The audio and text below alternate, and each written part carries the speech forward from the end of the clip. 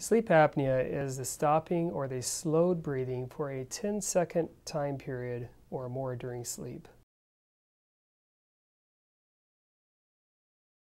Some of the signs of sleep apnea, the, the, one of the major ones is tiredness during the day, falling asleep at all odd hours of the daytime, or having to take a lot of caffeine to stay awake. It's interesting, some children can have sleep apnea, and it can be a very serious thing at age four or age five or even a little earlier, and it can cause ADHD, lack of concentration, and learning disabilities because the child's simply not sleeping, so they're exhausted all day long.